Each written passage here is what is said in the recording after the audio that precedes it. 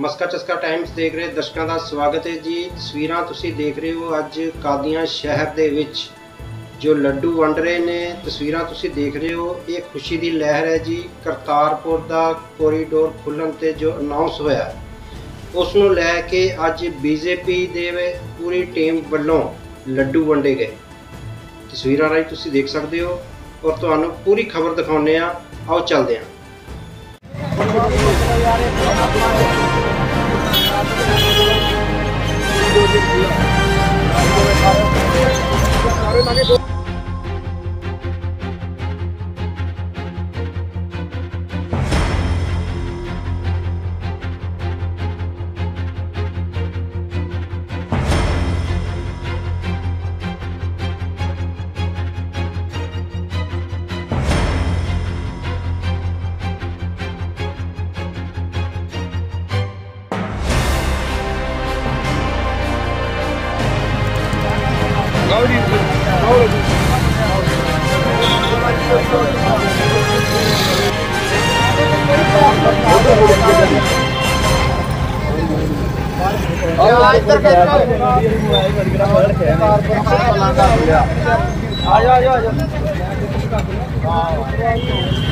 ਭਾਈ ਹੋ ਕੇ ਨਾ। ਭਾਈ, ਅੱਗੇ ਉਹ ਭੁੱਲ ਗਿਆ ਜੀ ਬਹੁਤ ਬਹੁਤ ਵਧਾਈ ਏ ਉਹ ਲਾਈਟ ਪੈਣ ਦੀ ਉਧਰੋਂ। ਵਧਾਈਆਂ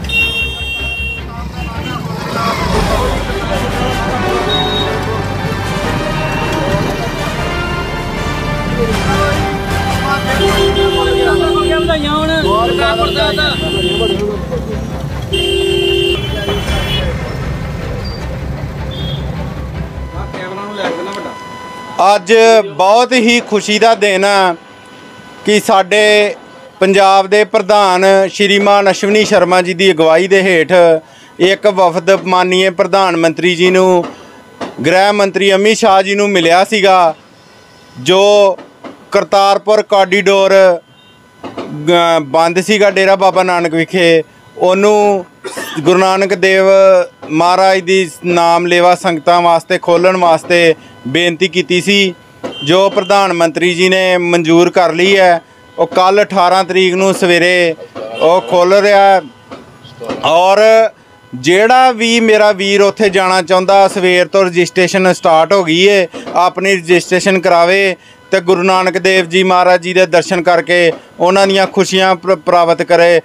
ਅਸੀਂ ਪ੍ਰਧਾਨ ਮੰਤਰੀ ਸ਼੍ਰੀ ਨਰਿੰਦਰ ਮੋਦੀ ਜੀ ਦਾ ਪ੍ਰਦੇਸ਼ ਅਧਿਕਸ਼ ਸ਼੍ਰੀ ਅਸ਼ਵਨੀ ਸ਼ਰਮਾ ਜੀ ਦਾ ਔਰ ਪੂਰੀ ਟੀਮ ਦਾ ਜੋ ਦਿੱਲੀ ਗਈ ਸੀ ਉਹਨਾਂ ਦਾ ਬਹੁਤ ਬਹੁਤ ਧੰਨਵਾਦ ਕਰਦੇ ਹਾਂ। ਬੋਲੇ ਸੋ ਨਿਹਾਲ। ਸ੍ਰੀ ਅਕਾਲ। ਬੋਲੇ ਸੋ ਨਿਹਾਲ। ਸ੍ਰੀ ਅਕਾਲ। ਸਾਰੀ ਗੁਰੂ ਨਾਨਕ ਦੇਵ ਨਾਮ ਲੇਵਾ ਸੰਗਤ ਨੂੰ ਲੱਖ ਲੱਖ ਵਧਾਈ ਜੀ ਸਾਰਿਆਂ ਨੂੰ ਲੱਖ ਲੱਖ ਵਧਾਈ। ਬੋਲੇ ਸੋ ਨਿਹਾਲ ਸ੍ਰੀ ਅਕਾਲ। ਧੰਨਵਾਦ ਮੈਂ ਮੰਡਲ ਪ੍ਰਧਾਨ ਕਾਦੀਆਂ ਅੱਜ ਡਾਕਟਰ ਅਜੇ ਛਾਬੜਾ ਸਮੂਹ ਸੰਗਤ ਨੂੰ ਬਹੁਤ ਬਹੁਤ ਵਧਾਈ ਦੇਣਾ ਕਿ ਜਿਹੜਾ ਕਰਤਾਰਪੁਰ ਕੋਰੀਡੋਰ ਦਾ ਰਾ- ਇਹ ਰਸਤਾ ਜਿਹੜਾ ਸਾਫ਼ ਹੋਇਆ ਯਾਤਰਾ ਸ਼ੁਰੂ ਹੋ ਗਈ ਹੈ ਅਸੀਂ ਪੰਜਾਬ ਪ੍ਰਧਾਨ ਅਸ਼ਵਨੀ ਸ਼ਰਮੀ ਜੀ ਅਤੀ ਧੰਨਵਾਦੀ ਹਾਂ ਕਿ ਉਹਨਾਂ ਨੇ ਪ੍ਰਧਾਨ ਮੰਤਰੀ ਨਰਿੰਦਰ ਮੋਦੀ ਜੀ ਨੂੰ ਮਿਲ ਕੇ ਅਮਿਤ ਸ਼ਾਹ ਜੀ ਨੂੰ ਮਿਲ ਕੇ ਤੇ ਇਹ ਰਸਤਾ ਜਿਹੜਾ ਵਾ, ਇਹ ਫਿਰ ਖੁਲਵਾਇਆ ਵਾ। ਕਰੋਨਾ ਕਾਲ ਦੇ ਵਿੱਚ ਇਹ ਯਾਤਰਾ ਜਿਹੜੀ ਬੰਦ ਹੋ ਗਈ ਸੀ ਤੇ ਕੱਲ ਤੋਂ ਸ਼ੁਰੂ ਹੋ ਗਈ ਯਾਤਰਾ। ਅਸੀਂ ਧੰਨਵਾਦੀ ਹਾਂ ਆਪਣੇ ਪ੍ਰਧਾਨ ਮੰਤਰੀ ਨਰਿੰਦਰ ਮੋਦੀ ਦੇ। ਜੇ ਅਸੀਂ ਸਮੂਹ ਸੰਗਤ ਨੂੰ ਲੱਖ ਲੱਖ ਵਧਾਈ ਦਿੰਦੇ ਆ ਇਹ ਫੈਸਲੇ ਤੇ। ਬਾਕੀ ਜੈ ਹਿੰਦ, ਜੈ ਭਾਰਤ। ਵਾਹਿਗੁਰੂ ਜੀ ਕਾ ਖਾਲਸਾ, ਵਾਹਿਗੁਰੂ ਜੀ ਕੀ ਫਤਿਹ। ਅੱਜ ਬਹੁਤ ਹੀ ਖੁਸ਼ੀ ਵਾਲਾ ਦਿਨ ਹੈ।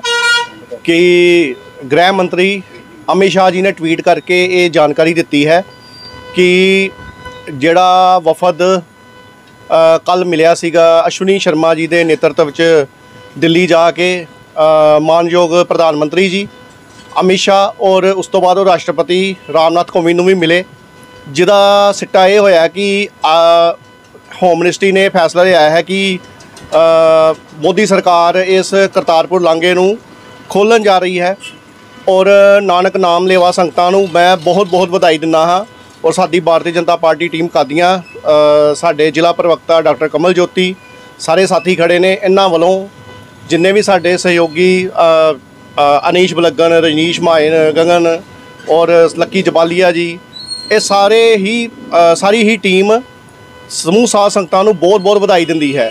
ਔਰ ਇਹ ਕਰਤਾਰਪੁਰ ਕੋਰੀਡੋਰ ਜਿਹੜਾ ਕਿ ਪਹਿਲਾਂ ਵੀ ਪ੍ਰਧਾਨ ਮੰਤਰੀ ਸ਼੍ਰੀ ਨਰਿੰਦਰ ਭਾਈ ਮੋਦੀ ਔਰ ਇਮਰਾਨ ਖਾਨ ਦੇ ਵਿੱਚ ਜਿਹੜੀ ਸਾਂਝਾ ਵਕਤਵਯ ਦੇ ਵਿੱਚ ਜੇ ਜਿਹੜਾ ਉਹਨਾਂ ਦੇ ਸਾਂਝਾ ਪ੍ਰਯਾਸਾਂ ਨਾਲ ਇਹ ਖੁੱਲਿਆ ਸੀਗਾ। ਔਰ ਸਾਨੂੰ ਬੜੀ ਖੁਸ਼ੀ ਹੈ ਕਰੋਨਾ ਕਾਲ ਦੇ ਵਿੱਚ ਜਦੋਂ ਇਹ, ਚਲੋ, ਬੰਦ ਹੋਇਆ, ਉਦੋਂ ਸਾਰਾ ਕੁਝ ਹੀ ਬੰਦ ਸੀ। ਲੇਕਿਨ ਹੁਣ ਦੁਬਾਰਾ ਖੁੱਲਣ ਦੇ, ਜਦੋਂ ਖੁੱਲਣ ਦਾ ਇੱਕ ਰਸਤਾ ਤਿਆਰ ਹੋਇਆ ਹੈ, ਤੇ ਅਸੀਂ ਉਸ ਲਈ ਸਭ ਨੂੰ ਬਹੁਤ ਬਹੁਤ ਵਧਾਈ ਦਿੰਦੇ ਹਾਂ। ਬੋਲੇ ਸੋ ਨਿਹਾਲ!